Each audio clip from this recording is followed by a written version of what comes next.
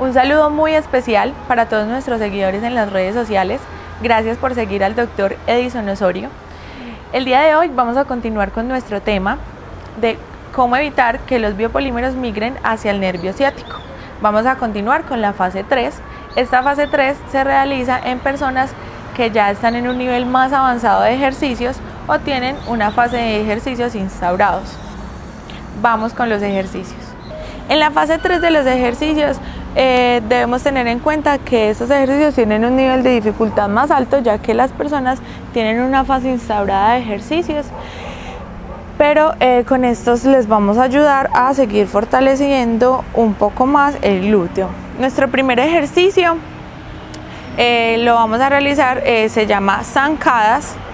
Estas zancadas las podemos hacer eh, con un gran número de repeticiones y muchas más series. Podemos hacer más de 5 series y más de 20 repeticiones con el fin de aumentar la masa muscular.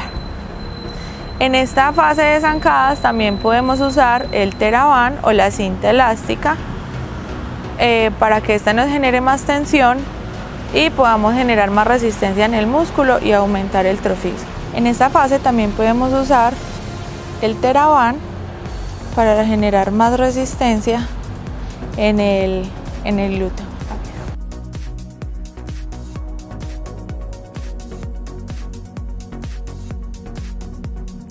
Debemos tener en cuenta que con el ejercicio anterior también podemos usar la cinta elástica o el Teraban para generar más resistencia al momento de realizar el ejercicio. Nuestro segundo ejercicio eh, se encarga de llevar los pies lateralmente. En este momento estamos usando el Teraban para generar más resistencia en, la, en el miembro inferior y debemos recordar que se pueden usar mayor número, se pueden realizar mayor número de repeticiones y muchas más series. 5 series de 20 repeticiones.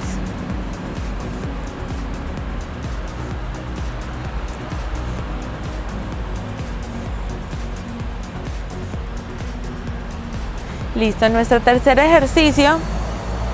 Eh, vamos a llevar la pierna, igual vamos a usar el teraban y vamos a usar llevar la pierna hacia la parte de atrás con el fin de activar el músculo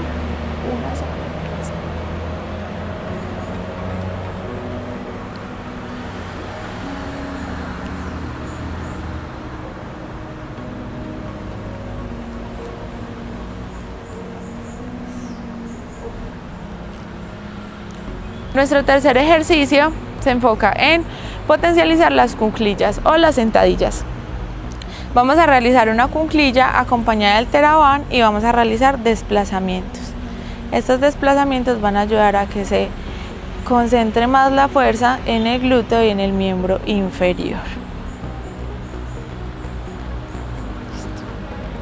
Nuestro siguiente ejercicio se enfoca en potencializar el músculo cuádriceps con el fin de usar el teraban o la cinta elástica y realizar mayor tensión a la hora de realizar apertura y cierre de las piernas.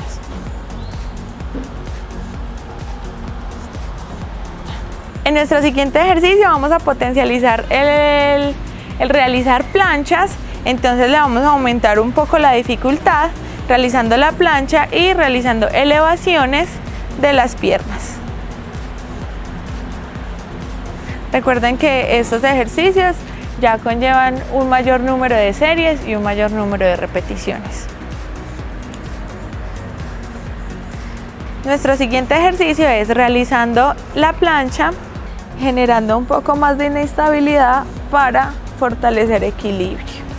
Una forma de potencializar esta plancha es usando la cinta elástica y realizando elevaciones.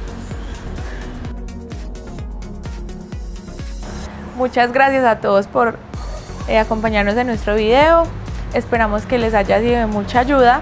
Cualquier tipo de duda que tengan pueden consultarnos en nuestras redes sociales.